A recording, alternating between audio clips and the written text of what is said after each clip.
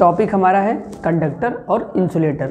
तो पहले हम समझेंगे कंडक्टर क्या होता है जिसमें इलेक्ट्रिसिटी क्या हो ट्रांसफ़र हो एक पॉइंट से दूसरे पॉइंट तक।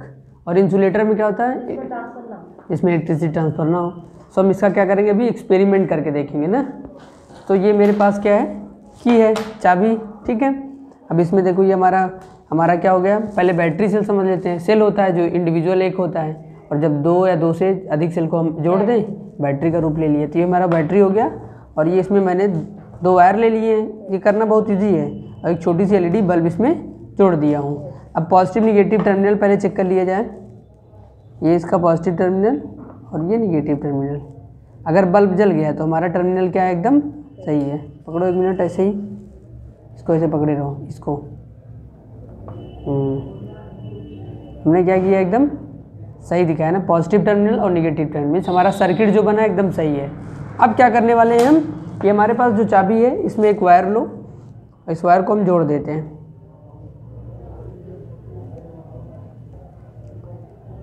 वायर को हमने क्या किया, इसमें जोड़ दिया। अब हम चेक करेंगे, ये हमारा कंडक्टर है या इंसुलेटर मीन्स इसमें इलेक्ट्रिसिटी ट्रांसफ़र हो रही है एक स्थान से दूसरे स्थान तक कि नहीं? तो आप पकड़िए कौन सा टर्मिनल इसमें पॉजिटिव टर्मिनल पकड़िए। और मैं क्या करता हूँ, नहीं पॉजिटिव टर्मिनल को हमें की में टच कराना है, चाबी में। इधर देखते रहें पॉजिटिव टर्मिनल को आप चाबी में टच कराइएगा उस हाथ से, ठीक है? पकड़िए पॉजिटिव टर्मिनल को। हाँ। वेरी गुड थोड़ा हाथ को ट्रांसफ़र करो जिससे कि हमें दिखाई, इधर भी पूरा वीडियो में दिखाई देना। अब क्या हो रहा है इसमें?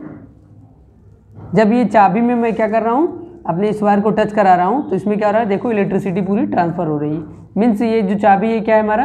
कंडक्टर है इंसुलेटर कंडक्टर हाँ मीन्स इसमें क्या हो रहा है? इलेक्ट्रिसिटी ट्रांसफ़र हो रही है। अब चलो हम एक दूसरा एक्सपेरिमेंट करते हैं। जैसे मेरे पास ये क्या है? कैप प्लास्टिक है ये। आइए इसको चेक करते हैं। ये कंडक्टर है या इंसुलेटर मैंने क्या किया इसको इसमें? जोड़ दिया। ठीक है भाई? समझ में आ रहा है ना? अब देखो अब क्या करोगे आप? इसको इसमें टच कराना है। इसको थोड़ा कैप को पास में करो।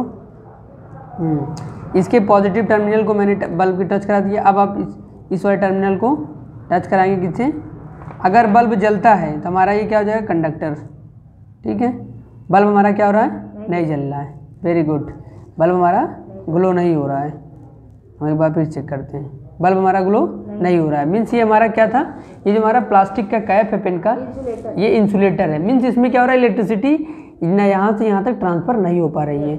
बट ये जो मेरे पास चाबी थी इसमें क्या था? इलेक्ट्रिसिटी यहाँ से पूरे चाबी में जब हम बल्ब को पॉइंट को टच कराते हैं वायर को तो यहाँ यहाँ हर जगह टच कराने पे बल्ब क्या होता है? ग्लो जल रहा है। सो हमने इस वीडियो में क्या समझ लिया?